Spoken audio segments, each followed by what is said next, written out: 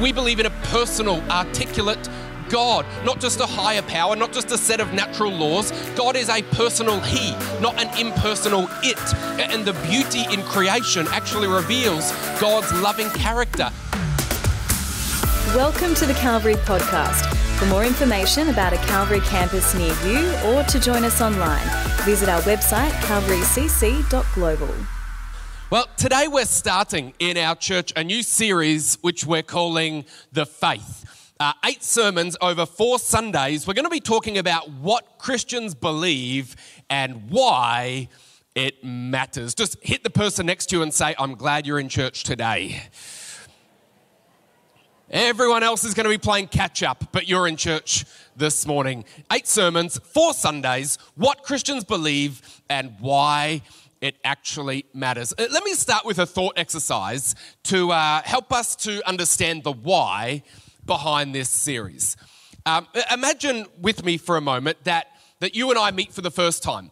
Uh, maybe we meet for the first time in a cafe or at a shopping center or maybe at an airport. We run into each other and we get chatting, and w- we've not met each other, but after a couple of minutes of chatting, you I arrive at the idea that, that you actually know my wife, Sarah. You say, no, no, no, hang on. I'm, I'm, I'm connecting the dots here. I know we've just met, but I'm sure I know your wife, Sarah. And, uh, and, and, and, you know, I say, Are you sure you know Sarah? Like, we've only just met. And you say, Yeah, absolutely. I know Sarah Bell. In fact, I met her about two years ago. Sarah is six, uh, six feet tall, brown hair, big sports fan, loves rap music. Yeah, yeah, yeah, yeah. I know Sarah. Now, the people laughing in church today are the ones who know my wife, Sarah, because she is not six foot tall and doesn't like rap music and doesn't have brown hair. But, but you're convinced, you, no, no, no, I, I definitely know Sarah. Or who knows, at that point in the conversation, I interrupt and I say, hey, I'm, I'm sorry, you, you, you must be talking about a different Sarah. You see, um, my wife Sarah, she's about five foot tall, blonde hair, doesn't care for sport, and hates rap music. And so we, we must be talking about a different Sarah. Well, at that point, in my mind, it's time for the conversation to move on to a new topic. But, but suppose, if you will, that, that you refuse to back down. And you say, no, that's not how I see Sarah Bell. I think she's six foot tall, and I think she's got brown hair, and I think she's a huge sports fan, and she loves Tupac. And, and I just can't accept the idea that Sarah would be any different. Well, who knows? Now it's getting really awkward because now I'm not quite sure what to do because we're talking about Sarah Bell. And Sarah Bell is a real person. She's my wife. We're, we're talking about a real person with particular and definable traits. And just because you're sincere and just because you're passionate about what you believe, it doesn't mean that you're right. You could be sincerely mistaken. In fact, you don't just get to make up your own ideas about what Sarah Bell is like and who Sarah Bell is. Sarah Bell is not whoever you imagine her to be. Sarah Bell is Sarah Bell. Does this make sense today? Now, if it's true that you and I don't have the right to simply make up or decide the attributes of another person, wouldn't it also be true that you and I don't have the right to simply make up or decide for ourselves what God is like and what constitutes the Christian faith? You know, in our day and age in 2023, this actually comes as a shock to many people. The idea that Christian faith, that the Christian faith has certain and definable beliefs that it is some things and it isn't other things, this comes as a shock to many people in 2023 because who knows, in our day and age, we have become accustomed to the idea that you and I can personalize and customize almost anything that we want. We think that because we can personalize our phone lock screen and desktop pattern, we think that we can personalize our lattes. I'll have decaf with half a shot. And uh, we think because we can personalize our phones and our lattes and our sneakers. We think that because we can choose our own gender, we think that because we can, you know, adjust global weather patterns by drinking from a paper straw, we think that we think that nothing is beyond our reach. Nothing cannot be changed by us. And that's why we're living in a time where people tend to say things like, well, I just believe that God is like such and such. Anyone ever heard someone say that? Well, I just believe God is like such and such. Or, well, well I could never imagine a God who is like da da da da. Uh, well, well, I think the Christian faith is really about insert own preferences here. And, and when people say that in today's day and age, the implicit assumption is that because they think it, well, that settles it. Well, because they think it, it must be true. But, but here's the reality just because God is personal doesn't mean that you and I get to personalize God. And just because I think something about God doesn't mean that my thoughts are necessarily true. And it doesn't mean that I can call my thoughts Christianity any more than you can call that six foot tall, rap loving sports fan my wife. You don't just get to make up who God is, you don't just get to make up and stylize your own version of what the Christian faith is. The reality is there are core beliefs that have actually united Christians for the last 2,000 years years. Do you catch what I'm saying today? In Jude, uh, verse 3, Jude didn't get any chapters, he just got verses. In Jude, verse 3, he calls it the faith. Everyone say the faith. Not my faith, not a faith. He calls it the faith that was once for all entrusted to God's people. And, and in an age where many people assume that Christianity can be whatever I want it to be, who knows it's incumbent upon us to actually know the central truths of the faith that we profess. Who knows it's very hard to live out a faith that you don't know. It's very hard to defend a Christianity that you can't explain. And in an age of relevance, uh, or relativism, sorry, who knows now more than ever, the church needs to know not just how to spell Jesus, but needs to know how to articulate a Christian worldview in the midst of a world that has gone bonkers. So, so to personalize the doctrines of the faith is, is kind of one error.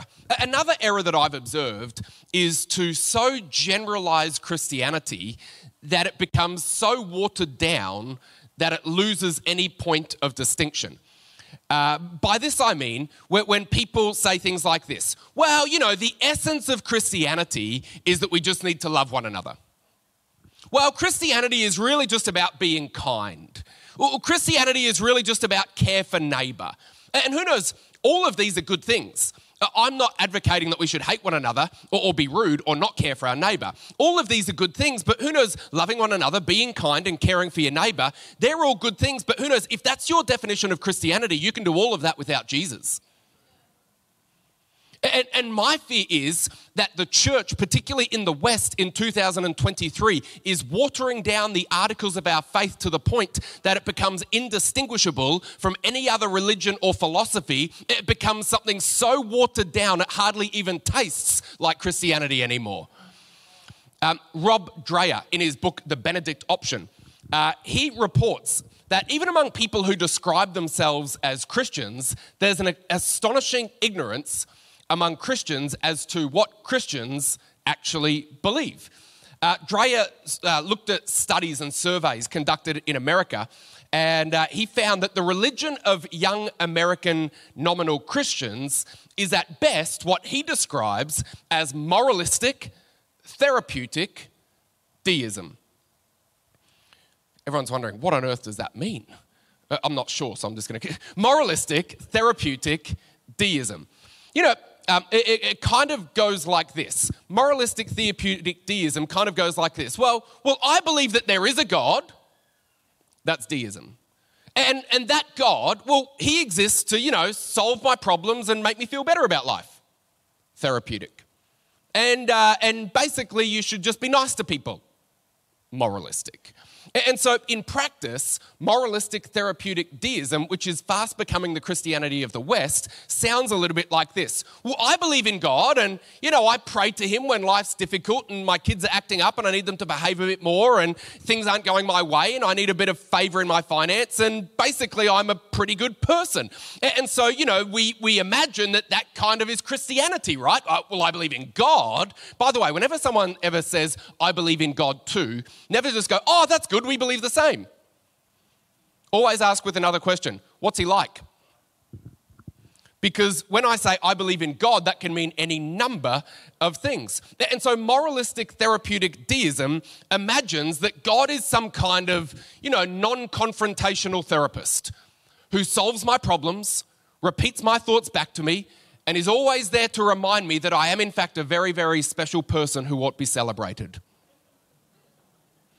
It's so general that it's a Christianity without Christ, it's a Christianity without a cross, it's a Christianity without confession, and it's a Christianity without the creeds. And I think that's why we like it, because it doesn't offend me and it doesn't offend anybody else. But who knows, true Christian faith is not a vague sentimentality. True Christian faith is not just a projection of my own personal preferences. Rather, the Christian faith is actually a set of truth claims about the existence and the nature of God and his action in human history. Uh, I'm going after this this morning. You see, to be a Christian is not just, just to believe in Jesus. Ever seen those people? They accept their Oscar awards and they've just, you know, released a movie that's full of cussing and inappropriate sex scenes and they say, Oh, I just want to thank Jesus. Ever seen that? And you're like, are we worshiping the same Jesus? Because to be a Christian is not just to believe in Jesus, it's to believe right and true things about Jesus. And, and there are beliefs that have united Christians everywhere and always for the last few thousand years, and whether those people be Catholics, Anglicans, Baptists, Protestants, Pentecostals, Eastern Orthodox believers, all of those denominations can point to an ancient document known as the Apostles' Creed as a summation of the Christian faith. Now, the Apostles' Creed is not found in the Bible, rather, it's a summary of the central truths in the Bible. You could say it this way that what the Bible says at length, the Apostles' Creed says in brief. And uh, some of us will be familiar with it, others of us have never heard of it. And so I want to read it out for us today. In Emerald, I hope you're paying attention online here on the Sunshine Coast. Let's read it. It's going to be on the screen. Let's read it. It says, I believe in God the Father Almighty, maker of heaven and earth. I believe in Jesus Christ his only Son, our Lord, who was conceived by the Holy Spirit and born of the Virgin Mary. He suffered under Pontius Pilate, was crucified, died, and, be- and was buried. He descended into hell. The third day he rose again from the dead. He ascended into heaven and is seated at the right hand of God the Father Almighty. From there he will come to judge the living and the dead. I believe in the Holy Spirit, the Holy Catholic Church, the communion of saints, the forgiveness of sins, the resurrection of the body, and the life everlasting. Amen. Well, I believe that Christianity is just about kindness. Who knows, there's a lot more to it than that. There are some central tenets of the Christian faith that have united believers in every nation, uh, in every age, as to the essence of the Christian faith. And so, what we're going to do is we're going to take four Sundays to walk through the Apostles' Creed and why it matters in our lives. Now, I know that some of us are like so excited for this series. We're like, come on, come on. And we, in fact, some of us are like, others of us are like, oh my goodness, do we really need to worry about creeds and doctrines? Aren't they just dry and irrelevant? Well, let me say this it's hard to be a Christian if you can't define Christianity. Creeds actually help us to know the essentials of the faith. Creeds help us to define truth and correct error. Creeds help us to worship and confess the faith. Creeds actually connect us to the faith of our fathers, and creeds define true Christian unity. The reality is, when we see clearly who God is and what God has done, it's only then that we start to see clearly who we are and what we ought to do. And so A.W. Tozer, uh, he said it this way. He said, What we believe about God is the most important thing about us. And so, over four Sundays, my prayer is that we're going to see how these ancient statements of belief actually still speak to the deepest questions of our heart today. And that as we focus on the Lord, who He is, and how He acts, that faith would spring up in our hearts as a result. So, are you ready? Here we go. That was just the preamble. Message one. Let's read the opening sentence of the Creed. It says this I believe in God the Father Almighty, maker of heaven and earth. You know, the Apostles' Creed begins where the Bible begins. And, and so let's go there. Genesis chapter 1, verse 1, first verse of the Bible says this In the beginning, God created the heavens and the earth. You know, you only need to get a sentence into the Bible, and there are enormous implications for what we've just read. You see, Christianity begins with the affirmation that God is. Some of you are like, God is what? No, no, just, just God is. Just let that sink in for a moment. God is. What I mean by that is that there, there, will, there has never been a moment when God was. And there will never be a moment where God will be. God just is. I hope you've had a coffee today. God is. Whether I feel Him or not, God is. Whether I acknowledge Him or not, God is. Whether I vote for Him or not, God is. Whether I come to church or not, by the way, you should still come to church. God is. Whether I worship Him or not, God is. You, see, the Bible says that in the beginning, God created the heavens and the earth. Thomas Aquinas said it this way Among all the truths which the faithful must believe, this is the first that there is one God. I believe in God, the Father Almighty, maker of heaven and earth. Now, this opening sentence uh, uh, of the Creed makes three particular claims about God, and I want to focus on them in the time that we've got left today, because my fear is sometimes we come to church and we talk a lot about how to improve your life, but not enough about God. But who knows, if we are going to withstand secular culture and be a prevailing church, we need more than TED Talks on a Sunday that teach you how to have a slightly better version of yourself.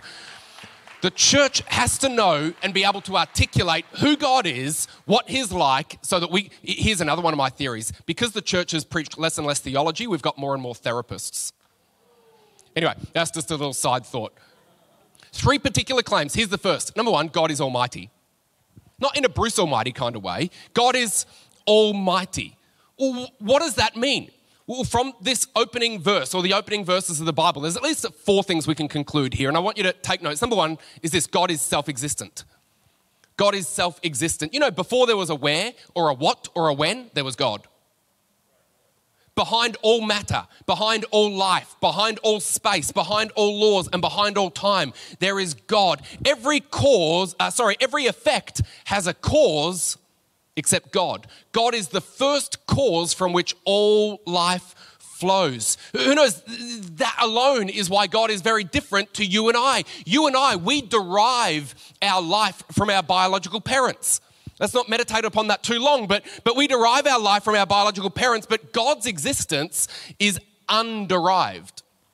Uh, Jesus said in John 5 and verse 26, the Father has life in himself. Psalm 90, verse 2 says it this way Before the mountains were brought forth, or, or ever you had formed the earth and the world, from everlasting to everlasting, you are God. God is self existent. Number two, God is self sufficient.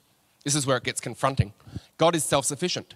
You, you see, while all of creation is desperately dependent upon God, God is quite fine without us. Isn't that a sobering thought? We desperately need God. In Him we live and move and have our being. At any moment, God could ask for His breath back and I would be in trouble. We are desperately dependent upon God, but God was doing quite fine before we came along. God will be doing quite fine long after we leave.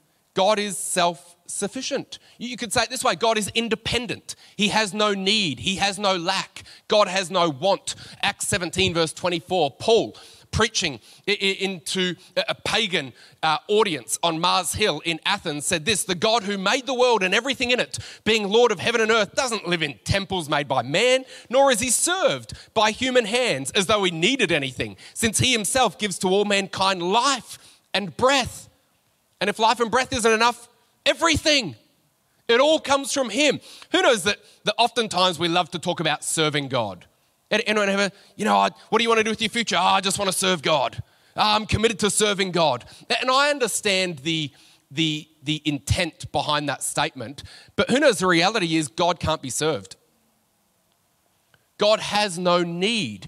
Uh, God loves us and God includes us, but, but God really doesn't need Dustan Bell, much to the hurt of Dustan Bell's ego. God doesn't need me. There's literally nothing that Dustan Bell could do that would be to God's advantage. There, there is nothing that I could do. There is nothing that I could offer God to which he would reply, Oh, thanks, Dustan, I needed that. He's God all by himself. Who knows, when I serve, it doesn't fill some lack in him. When I tithe, it doesn't make up for some deficit in his budget. When I worship, it doesn't prop up his flailing sense of self esteem. Oh, I can't wait till Sunday, church, sing it again, sing it again. When I deny God's existence, it doesn't make him any less God.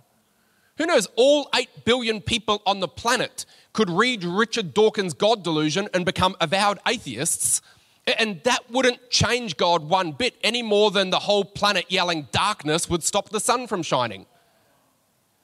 God is God. God is self sufficient. There is no gain for God in having me. There is no gain for God in loving me. There is no gain for God in including me. All of this is quite sobering, really, isn't it?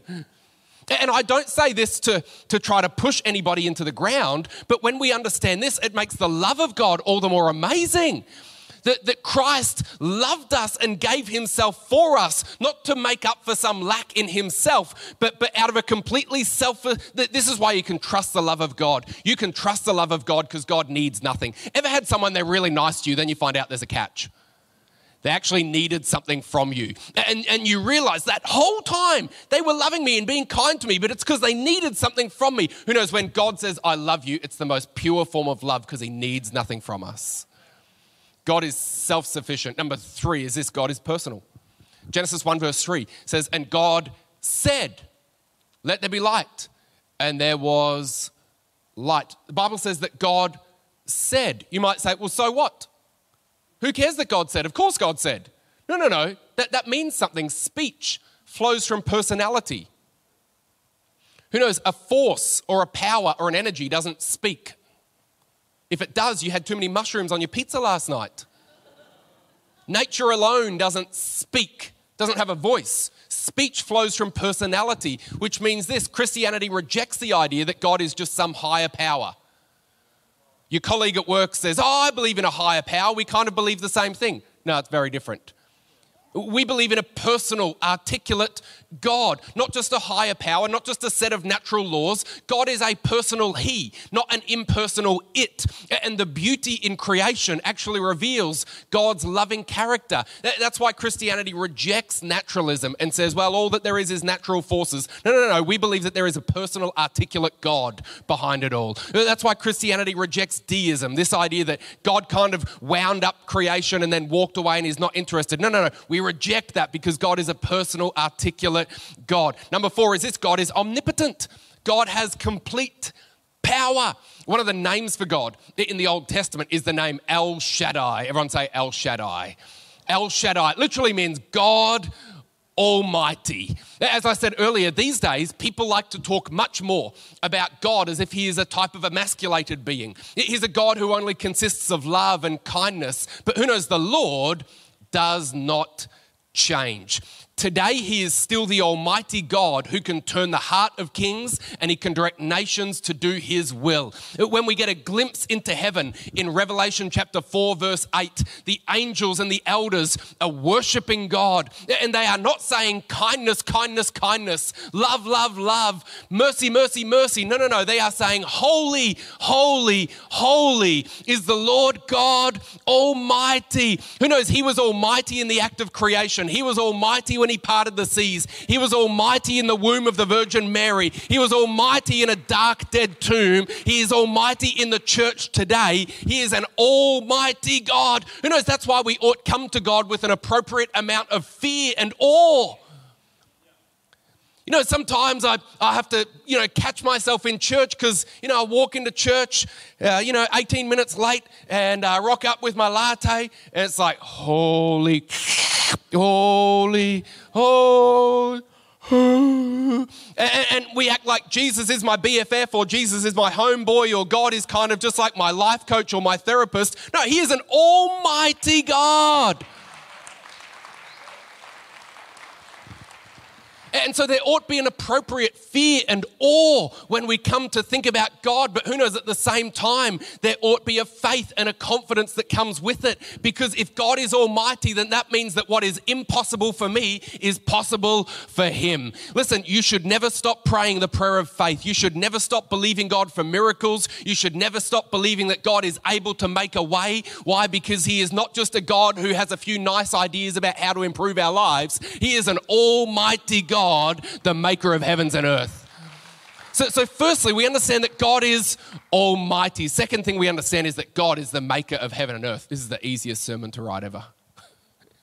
He's the maker of heaven and earth. You know, it's popular today to believe that you and I live in a godless cosmos, that the world is without a maker, that, that all that is in the universe, everything that we see, including ourselves, are just the result of blind, dumb, random, futile, natural forces. You know, the universe simply is. It's a pointless happenstance. You know, by the way, notice that you either believe that God is or the universe is. Either way, you're putting your faith in something or someone being eternal. So never believe the idea that you as a Christian are a person of faith, but those non Christians aren't people of faith. No, no, no. They've just got faith in an infinite universe. We have faith in an infinite God. We're all hedging our bets on, on faith here. And so, so the Bible is very clear that, that behind everything that we see, behind who you and I are, God is the maker of heaven and earth. Sir Isaac Newton designed a scale model of a solar system. And then he had a craftsman build the model solar system from his plans and uh, put it up in his house. And in the center of this model solar system, there was a large ball made of brass representing the sun. And then revolving around the sun, there were smaller balls attached to spokes of different lengths. And every one of those balls represented the planets, and the spokes placed them at the appropriate distances from the sun. And uh, all of the planets were, were created and put in their proper order.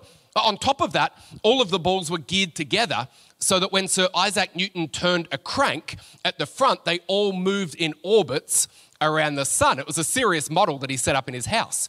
One day, his scientist friend came to visit while Isaac Newton was reading in his study. His friend walked in and saw the model and uh, he recognized what it was. His friend started to crank the model and he watched as it moved in perfect order and symmetry. And uh, he said to Isaac Newton, Man, this is tremendous. Who made it?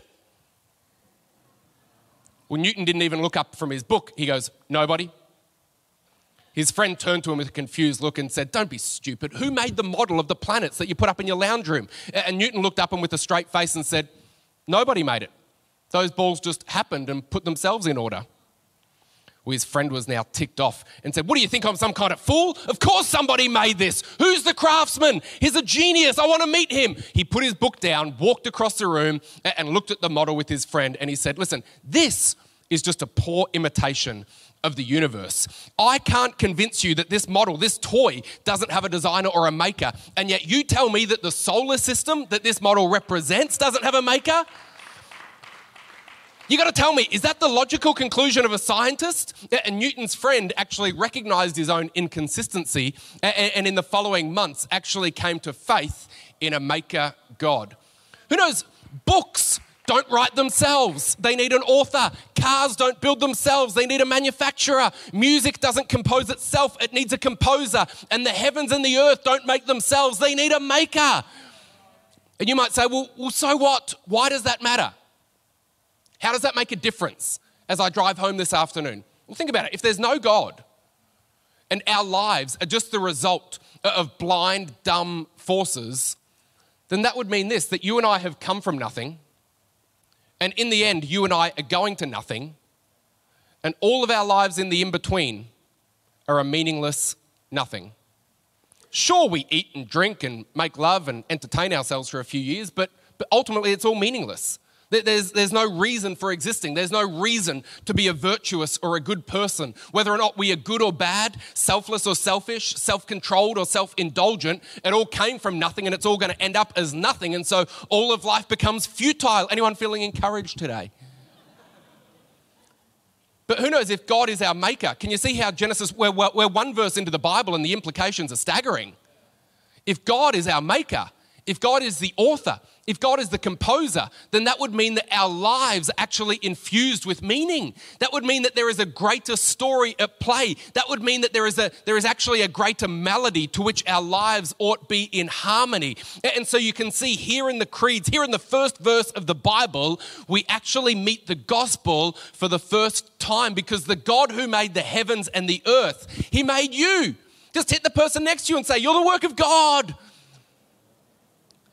The God who made the heavens and is the God who made you, which means this church, your life is not an inconsequential accident. It doesn't matter what the circumstances were surrounding your arrival into this planet. I want to tell you that your life is not inconsequential. Your life is not accidental. Your life is not without purpose. If God is the maker of heaven and earth, and if God made me, then that means that you and I have a welcome place in creation. It means that you and I have intrinsic value because we bear the signature of the Creator in ourselves. Who knows? That is good news. Charles Colson said this If there is a personal creator, if God is, then his creation can reflect his character. It can reveal God's purposes for us.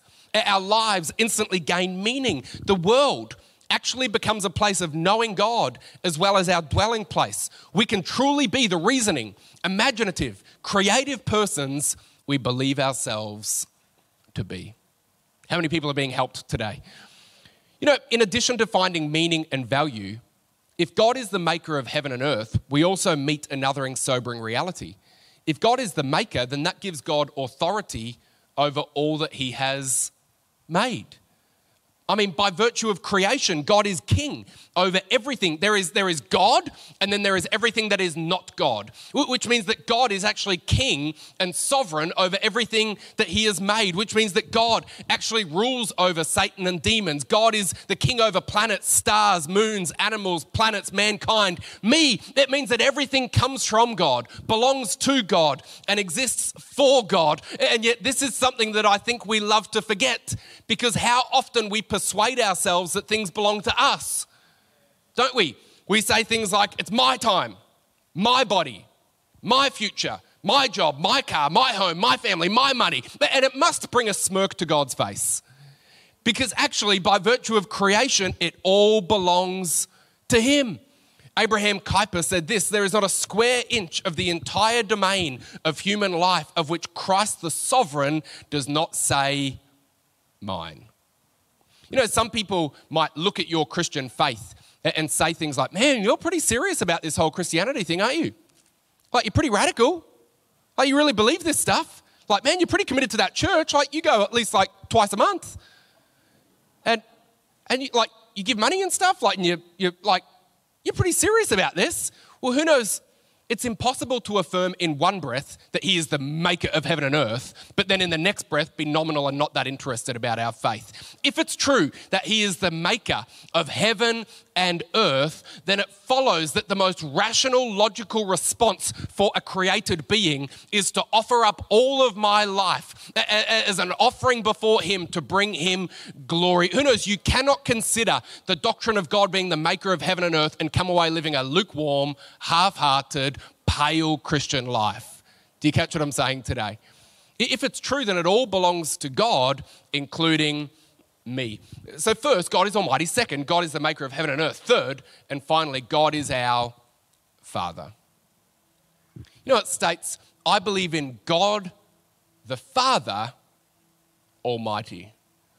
So, later on in this series, we'll, we'll talk about the Father, the Son, the Holy Spirit, the Christian picture of a triune God. And, uh, and yet, it starts with this truth revealed that God is a Father Almighty. You know, if that be true, then that would mean that God is infinitely powerful. He's almighty. But in the next breath, God is intensely personal. He's our Father. Jesus said in Matthew chapter 6, verse 9, Pray then like this Our Father in heaven, hallowed be your name. Who knows, if God was only a creator, if he was a creator alone, that then you and I might revere him, we might respect him, but there might be room for you and I to doubt whether he really cares for us, whether he's really interested in us, whether he really inclines and listens to our prayer. If he was only the Almighty, it would produce awe and fear and reverence in me, but not a lot else. But if it's true that God is Almighty, Father, then it's true that God is not just infinitely powerful, but God is also intensely personal. The Bible wants us to see that there is a tenderness about God, there's a gentleness about God, there's an awareness of God. God loves us and He seeks our good. You know, some of us have, have got no problem picturing a God who is awesome and, and creator and uh, for, for those of us who have got no problem picturing God like that, then God today, by His Spirit,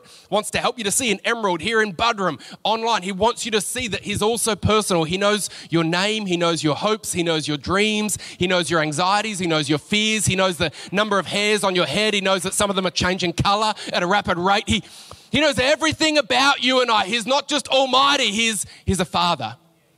Some of us have got no problem picturing God as a father but, but it maybe can slip into a reverence. And today, there needs to become a deeper sense of He's not just a father, but He's also almighty and is worthy of honor and respect. And all of my life, he, he holds intention for all time and in all ages and for all peoples. This balance of being the Almighty Father. Let me, let me close with this. Um, like, like all of us, uh, over the last seven days, I've been watching news feeds and social media reels about what's taking place in, in Gaza and in Israel. And, uh, you know, it's, it's impossible uh, not to be heavy hearted about, about what we're seeing take place. Though yesterday I, I, I saw one story of hope. And uh, I, I, don't share this to in any way glorify war or make light of the situation. It's just one story of hope that caught my attention yesterday because uh, it's the story of, of, events that took place last Saturday when uh, Hamas gunmen they, they, came to enact uh, their terror and to murder. And uh, there was a 22 year old girl and her boyfriend. Her name was uh, Nita Portel. And uh, she was in a house as gunmen came. And she, she didn't know what to do. What do you do in that situation? And so she grabbed her phone and she texted her dad. She hadn't talked to her dad for six years. She hadn't talked to her dad since her mum and dad divorced when she was a teenager. No talk, no text messages, no contact, hadn't seen her dad for six years. But in this moment last Saturday, she panicked and she sent a three word text to her dad and just said, They are close. Well, straight away, she got a message back from her dad saying, Lock the doors. A few minutes later, there was another text from her saying, They shot me, help. And then straight away, there was a text back saying, I'm coming. No contact for six years. True story. Dad, I think there's a photo that'll be on the screen. Dad, who's a policeman, drives into a hostile war zone in an unmarked car, uh, takes bullet fire himself, and scours through the debris in order to find his daughter. And uh, then he ended up finding her, grabbed his daughter, her partner, got them in the car, got them out of the war zone. She's still alive today, got her to hospital, and she lives to tell the story. Again, let me say that, um, let me be really clear. I'm not trying to make light of what has happened. I'm just saying there's a story of hope in here. And as I read this story, I thought, isn't it amazing that no matter how much time passed, time didn't change the fact that he was her father. No matter what crisis came, the crisis didn't change the fact that he was still her father. No matter what distance there had been, the distance hadn't changed the fact that he was still her father. And yet sometimes we can imagine that circumstances that we go through somehow change who he is. That our own actions, our own quietness, our own distance, our own coldness can somehow change the nature of our Father. But I want to tell you, time doesn't change him, distance doesn't change him, crisis doesn't change him. He is an almighty Father. It's who he was, it's who he is, and it's who he always will be. Can you say amen today? And I just believe there'll be people today, maybe in Emerald, maybe here on the Sunshine Coast, maybe online. And maybe it's been a long time since you prayed. Maybe it's been a long time since you found yourself in church. Maybe you say, you know what, I know that there's stuff in my life that probably isn't pleasing to God. Can I just say that who you are and where you are doesn't change who He is? But I don't feel like He's my Father in heaven. Our feelings actually don't change things. Well, that's not how I imagine Him to be. well, our imaginations don't dictate who He is. He's an almighty Father. For more information about a Calvary campus near you or to join us online, visit our website calvarycc.global.